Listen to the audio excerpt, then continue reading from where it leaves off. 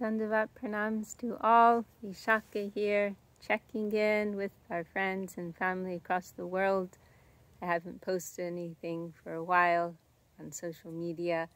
I'm in Ojai, California right now. I've been in the US for the last few months throughout California. I was in Arizona, Salt Lake City, Utah.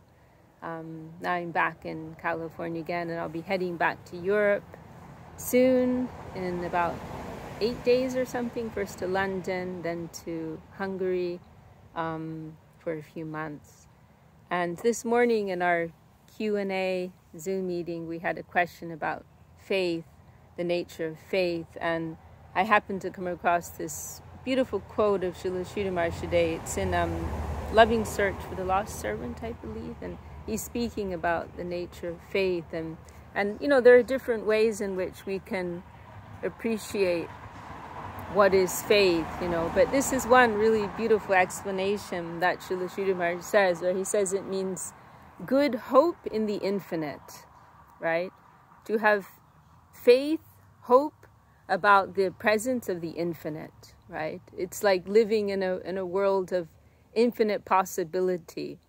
And you know, one way in which I was reflecting on the significance of this point is how how much we face disappointment in our lives, you know, as conditioned souls.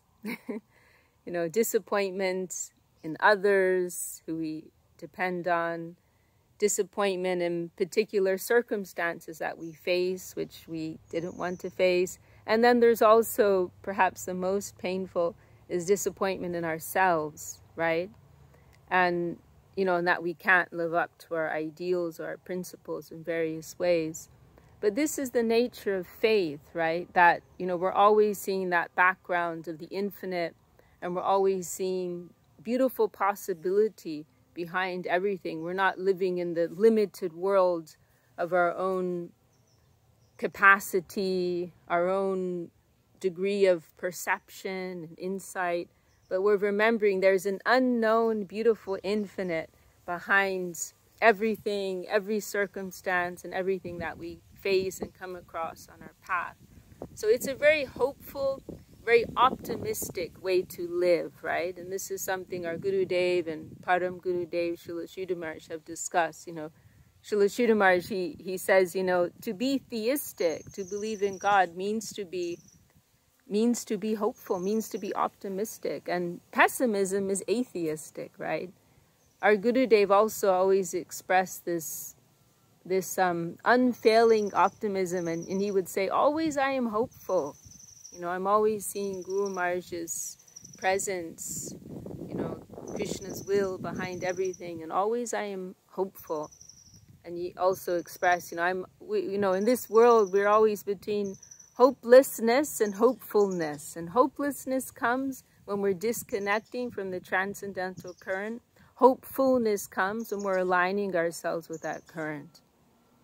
So to be faithful means to be optimistic, you know, to see in every circumstance the infinite and beautiful possibility. And I, I wanted to share this um, this quote of our Param Guru Maharaj.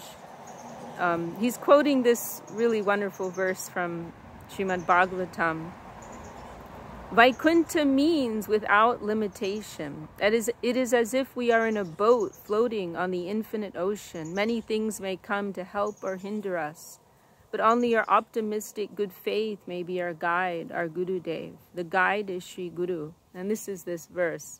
Nirdeham adyam sulabam sudorlabam plavam sukalpam guru karnadadam mayana kulyena nabasvateritam Puman Bhavabdim Natarit Saatmaha. In the infinite ocean, we have boarded our small boat, the human form of life, and our destination is uncertain and inconceivable. But it is conceivable to our Guru Dev. Our Guru is, the, our, is our guide, the captain of the boat. And we must progress with sincere faith. We are trying to cross a horrible ocean with huge waves and dangerous sharks and whales swallowing whales. It is full of danger. The guidance of saints is our only hope. We must depend on them. They stand like lighthouses in the infinite ocean. I mean, what a beautiful analogy. You know, the saints, our gurus, our guides, they're standing bright like lighthouses of faith, you know, illuminating our way forward. They stand like lighthouses in the infinite ocean to guide us to the land of faith. Faith means hope in the infinite. Vaikuntha means infinite. And Shraddha means good faith.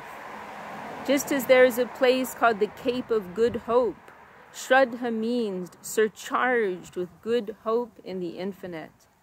Vaikuntha is infinite, and if we wish to draw the attention of the infinite, the only way open to us is Shraddha. By Shraddha alone, we can attract the infinite. And when Shraddha develops a definite form after progressing through Bhav, ecstatic emotion, Shraddha becomes Prema, divine love. Columbus set sail and after a long voyage finally arrived in America. He reached the land of good hope. In the same way, with hope, Shraddha, faith, we may, after crossing Vaikuntha, arrive in the highest plane of the spiritual cosmos. Shraddha is our light in the darkness. Good hope in the infinite. How beautiful. Shraddha means surcharged with good hope in the infinite. What a, what a beautiful meditation. My Dandavat pranams to all. Hope you're all well as can be. Jai Shri Guru Dev. My gratitude for everyone's love, affection, friendship on this challenging path that we face. Jai Shri Gurudev.